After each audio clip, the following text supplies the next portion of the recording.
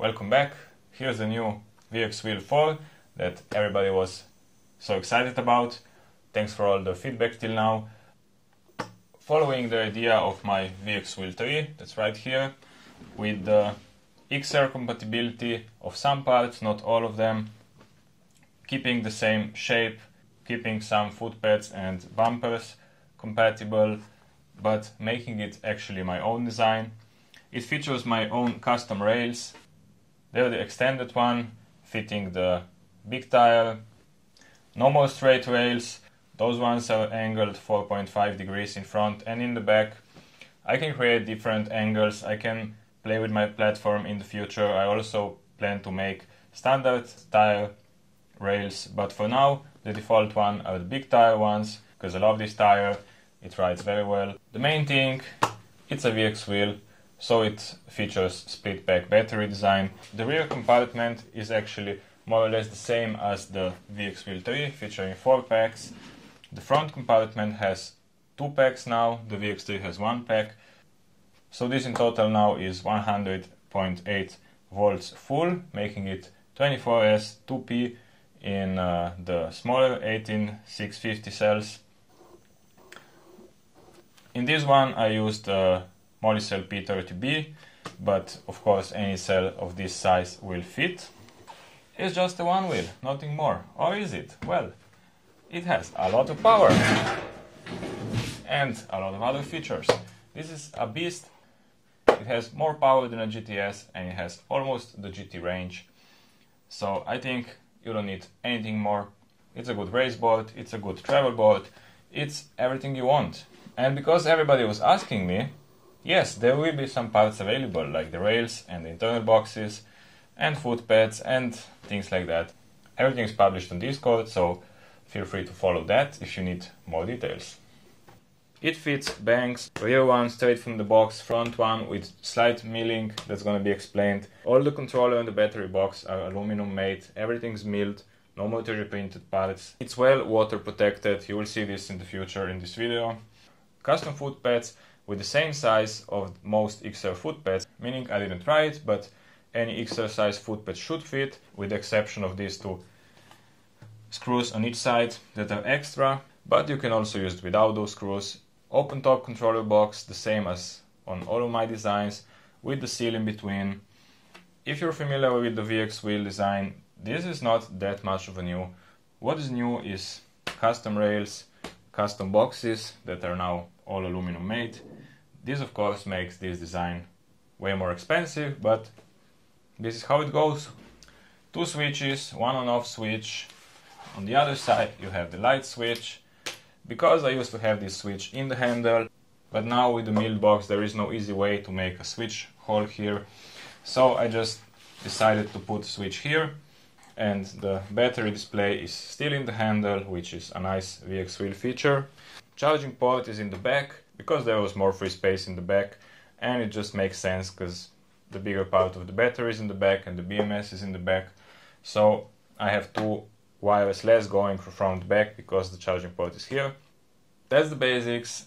I think I didn't cover all of them, but we're gonna do it on the way. Most important thing is if you wanna build this board, you have to consider some DIY skills are needed and I'm gonna explain the building process in this video. So you're gonna be able to decide if you wanna build it or not, depending on what you see in this video. That's about what I have planned and uh, I hope you enjoy it and I hope we'll ride these boards together pretty soon. 100 volts, crazy free spin, this is without field weakening. I don't even know how fast this doesn't matter, it's too fast. You don't need to go faster than that. That being said, let's get to work. Let's start assembling the battery. I have the 3D printed cases, six of them this time. It's around 400 grams for all six of them, including covers. Here are the cells. I'm using P30B this time. I just measured each cell's voltage just to double check. It's rare that you get a bad cell from the start, but uh, it's way better to check at the beginning than needing to replace it after the welding. So double check that.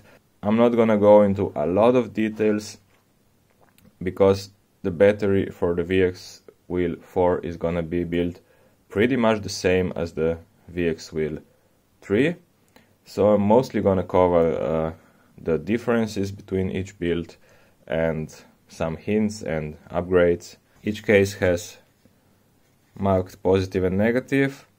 So again two positives here two negatives here two positives here two negatives here and do that for each box you should have packs like this by now. Maybe it's worth mentioning the positive side is a tiny little bit thicker than the negative side. The size of the hole in the box mainly depends on the printer tolerance because that's a way bigger difference than just designing it too big or too small. So if it's a little bit tight, you might wanna uh, put the negatives in, press it, then turn it put the other two, turn it again, put the other two with the positive on top and the last one. And once you're done, just double check the positive marked here is on this side, the negative marked here is on this side. Check this on each box because they're not all the same. This one has negative here. Don't forget about uh, fish paper rings on all positive terminals of the battery. I have a new spot welder, the K-Weld. It's way better than the Sunkko. Be sure to use pure nickel and not uh, nickel plated steel, because it's a big difference in conductivity. In my last video about battery welding, I explained to make the series connection first and then adding the parallel because the series connection is where the current goes and the parallel needs to be connected but there's basically zero current there so we're gonna do it a very similar way this time, but I'm trying to save a little bit of time. Cutting all the nickel strips by hand takes a lot of time, so I tried using this. It's actually hard getting those in a pure nickel version, but I got it, I tested it, it's pure nickel, and it's 0.15 millimeters. So what I'm gonna try to do is I'm gonna try to place two 0.2 millimeter nickel strips this time. I used 0.15 last time because the previous welder couldn't weld 0.2. So I'm gonna try to do this and this is gonna do most of the current 0.2 and then instead of going across which is double the work of making uh, tabs I'm gonna try to use this thing which is made of this. To add another 0.15 in the series connection and the parallel bridges which are more than thick enough with just this. So I'm gonna try to go this way this time. Each time I'm doing it a little bit differently but we're all trying to make the best each time and uh, yeah you can see it's a little bit wet. That's because I cleaned it with uh, alcohol so be sure to clean all the contacts as well as the nickel strips. When you remove the good weld shouldn't be easy to remove and is not easy to remove. But once you remove it you can see it's making a hole and a piece of nickel stayed on the cell. This means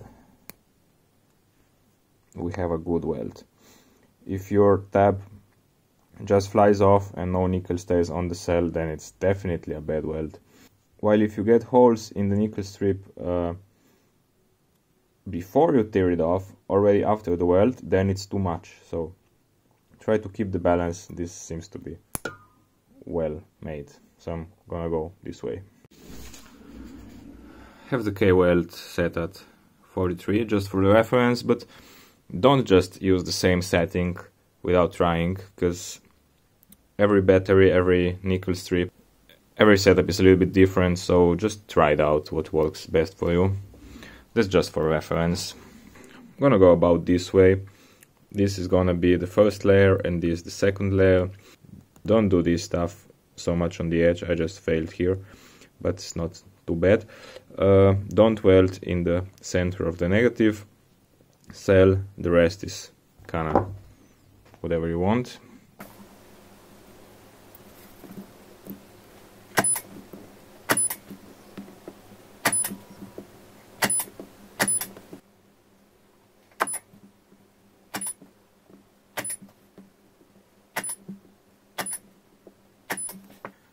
So with the first layer now looking like this in 0.2 pure nickel and the second layer looking like this with 0.15 pure nickel I have a total of uh, 0.35 of pure nickel in the S direction and 0.5 15 nickel in the P direction, which is the most I ever had and I think it's more than enough. So this is how it's gonna be this time and as said, I'm doing it a little bit differently each time. Be sure not to mix the sides. Here when there's no exits for cables it must be like this. Here there are exits for cables it must be the central part connected. I did not film the process of making the main positive and negative terminal of each of the pack as well as the balance leads and how the temperature sensors are installed because this process is absolutely the same as in my VX Wheel 3. The only difference is there is one pack more to do, but it's absolutely the same. Only the wire lengths are not the same, but this is best to check when you are building the board to see the optimal wire lengths of each pack.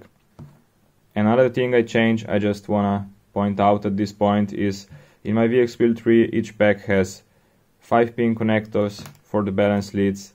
The first and the last pack has an additional connector for the temperature sensor. I figured out it's better to use a 7 pin connector and have it all at once on the first and the last pack. So in my VX4 that would be the first and the sixth pack. And I just wire the temperature sensor on the end of this connector and I think it's better than having the separate connector. But that is pretty much the only difference. For all the rest, check out the video in the description and you will get all the details about finishing the packs because it would be a big waste of time for me to film everything and edit everything again. Here are some pictures of the build, even if there is no video.